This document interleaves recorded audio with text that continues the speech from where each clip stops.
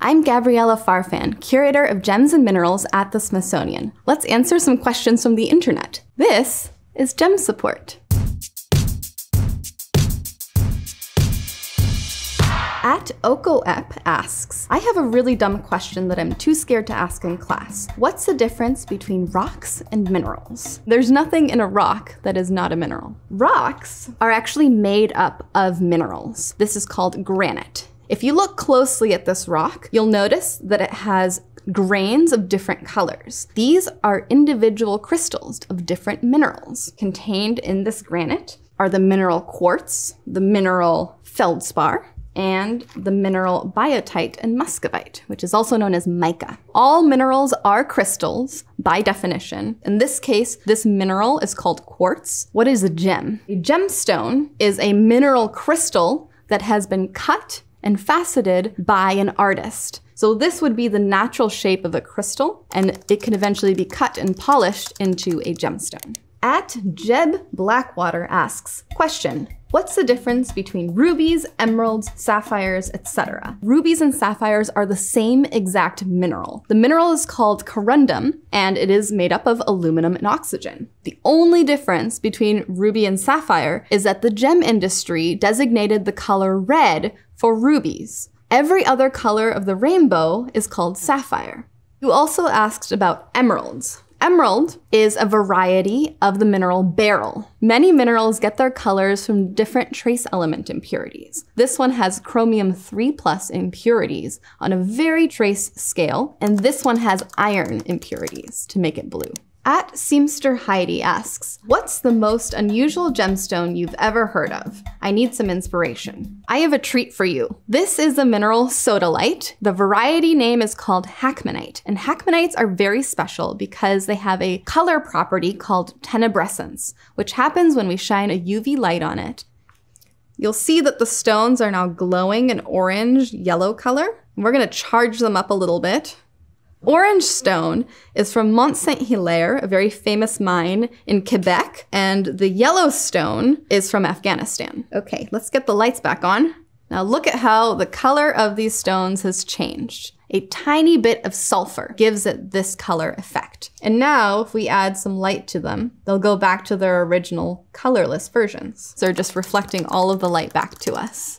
At Lee Perez Ray asks, where does the Rock Dwayne Johnson rate on the Mohs scale? Well, Dwayne the Rock Johnson is off the scale because he's a cool human, but his bones are actually made of bioapatite, which is a mineral with a Mohs hardness of 5. The Mohs hardness scale is a scale that we use to compare mineral hardness. So when I say hardness, I'm actually referring to the scratchability of a mineral, not how tough it is. The mineral talc has a Mohs hardness scale of 1. At the other extreme of the Mohs hardness scale, diamond is number 10. The Mohs hardness scale is also a logarithmic scale which means that the difference between 1 and 2 on the scale is 10 times. So diamond is 10 times 10 times 10 times 10 and so on times harder than the mineral talc. The reason why hardness is so important for gemstones that are used in jewelry is that something like a diamond is very difficult to scratch. So if you're wearing it every day in a ring, it's much less likely to turn dull over time because it will not build up scratches. Whereas diamonds are the hardest on the Mohs hardness scale, which means scratchability. Jade is the most difficult to break.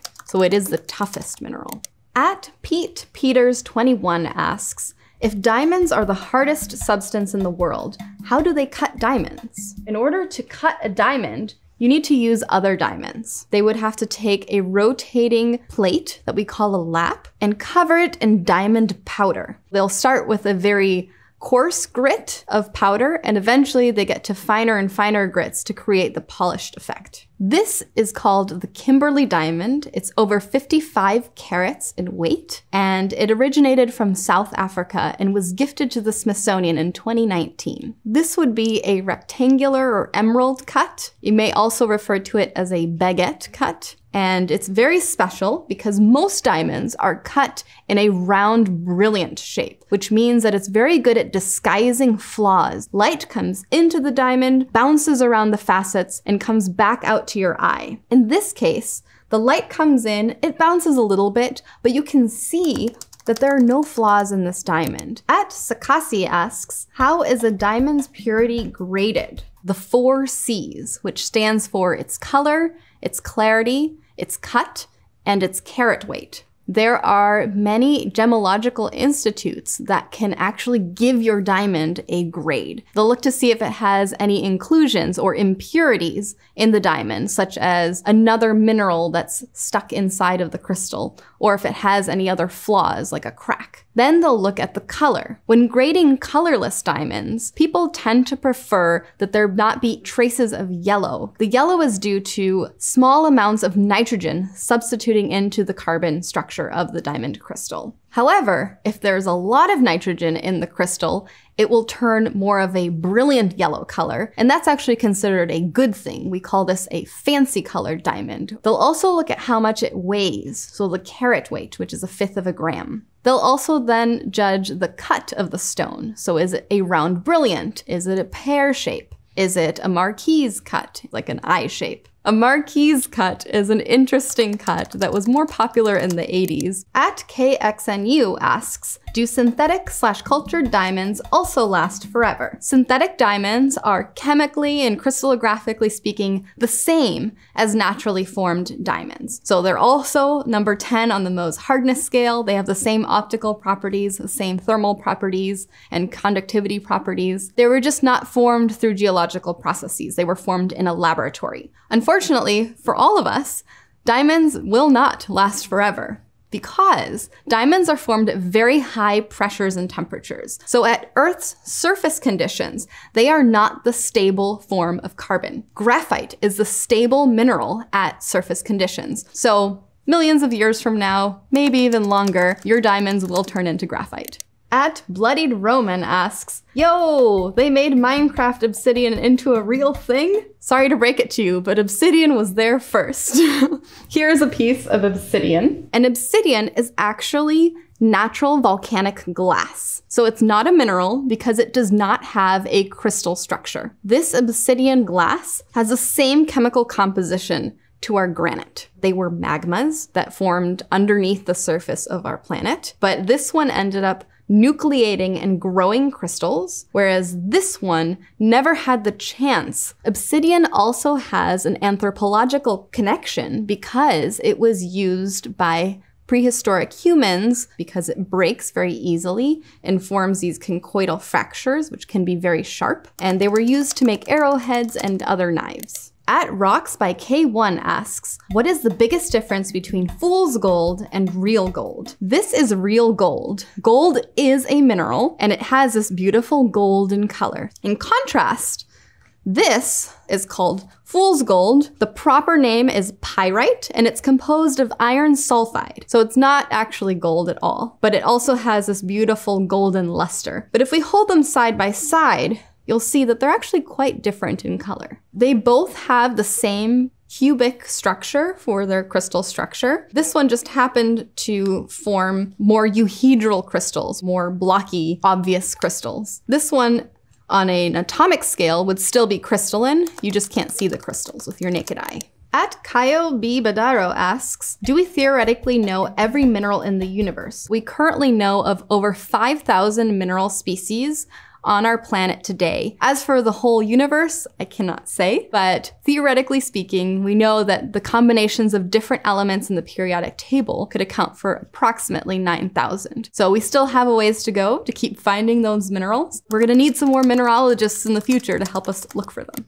At Ben King01 asks, where do the minerals in your mobile phone come from? There are approximately 65 elements that are necessary to make your cell phone run. Many of them are considered to be rare earth elements that oftentimes come in what we call critical minerals. For example, one of these minerals would be called spodumene, and this mineral happens to have a lot of lithium in it. And lithium is going to be very important for those lithium ion batteries. We mine spodumene from rocks called pegmatites. And pegmatites are really, really great at concentrating what we call these incompatible elements. These are elements that are either too small, like lithium, or too big, like uranium, that they don't like to fit in your average crystal structures. Pegmatite deposits occur across the globe, but they tend to be concentrated in places like Brazil. We even have some pegmatites here in the United States, up in Maine or in California. At the Inspira Z asks, what is the most cursed diamond? Historically, people love the idea of attaching a curse or a good story to a famous diamond. And what more famous diamond than the Hope Diamond, which resides here at our National Museum of Natural History. In the early 1900s, the Hope Diamond was bought and sold many times, and all of its owners kept losing their money and having to sell this diamond. And its last private owner, Evelyn Walsh McLean, had a rather tragic life that befell her family and herself. So this idea of the curse just kept building and building with the Hope Diamond. But today, when we think about the Hope Diamond, we actually think of it as a blessing because it has become the cornerstone of our national gem collection.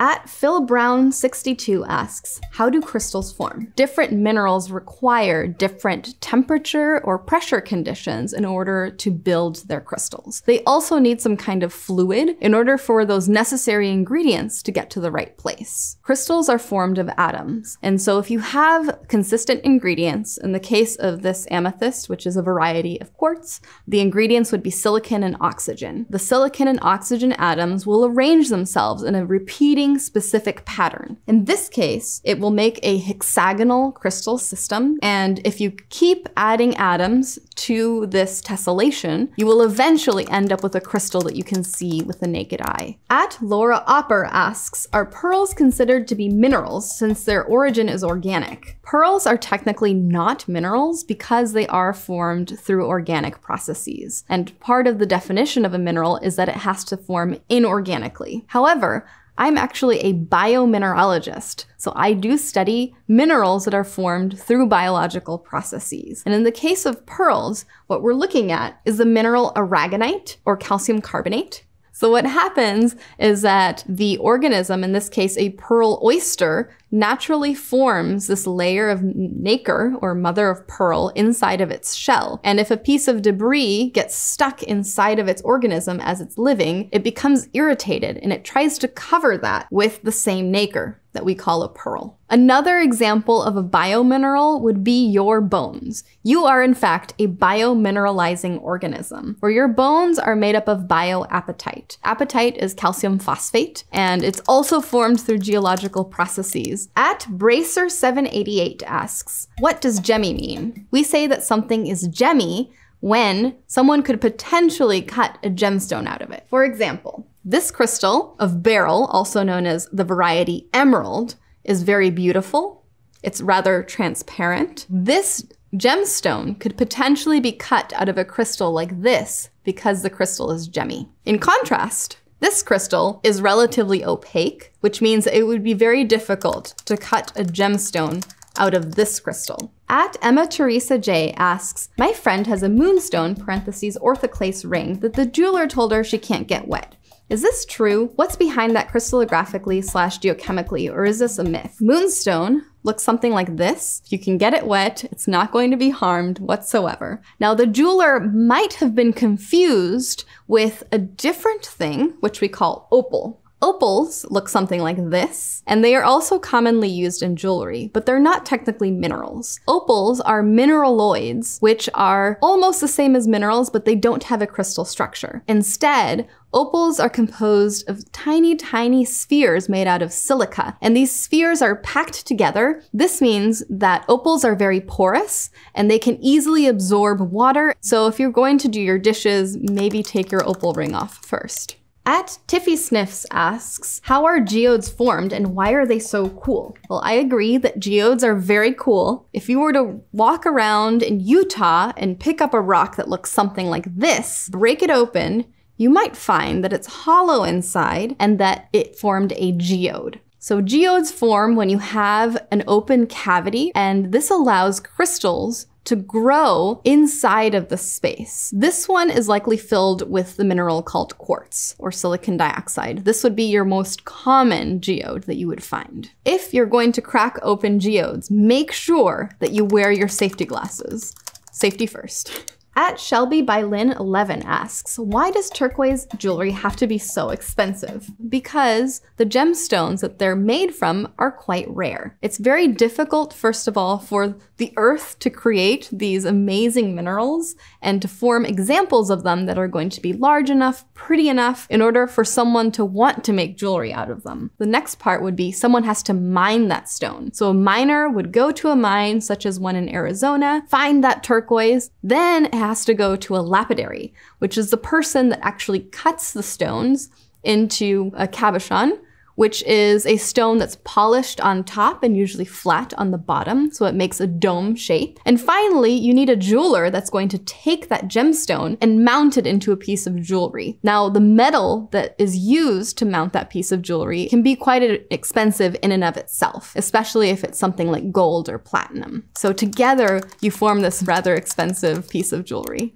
At Linostrack asks, where do rubies even come from? It turns out that rubies, or the mineral corundum, can be found all around the world. If you were interested in finding rubies in the United States, you could even go to North Carolina to ruby mines. However, the most precious rubies, the most sought after rubies, are from Burma. There is an area of Mogok, Burma, that has a huge city made up of many, many thousands of people where their entire job is to find rubies in a mountain of marble. At Tails and Kitty asks, what are quote blood diamonds? Unfortunately, minerals and gemstones often hold a lot of value per volume, which means they're very small, but they're very, very expensive. And thus, they have been embroiled in conflicts and used to trade for weapons, and oftentimes can be directly linked to conflicts and death. Ethical sourcing is very important. Currently, there is a process called the Kimberley process, which can trace the origins of diamond crystals before they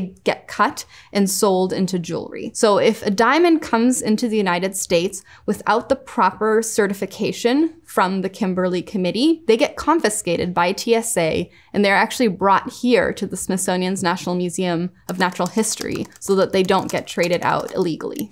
At Degenix Play asks, how do you find your gems? As the curator of gems and minerals, myself and my team go out and scout for new minerals that have appeared on the market. Recently, we acquired a crystal of the mineral called sapphirine, not sapphire, and it was one of my favorite acquisitions because it happens to be the largest crystal of sapphirine in the world, and it came from a mine in Madagascar. So those are all the questions we have today. Thanks for watching Gem and Mineral Support.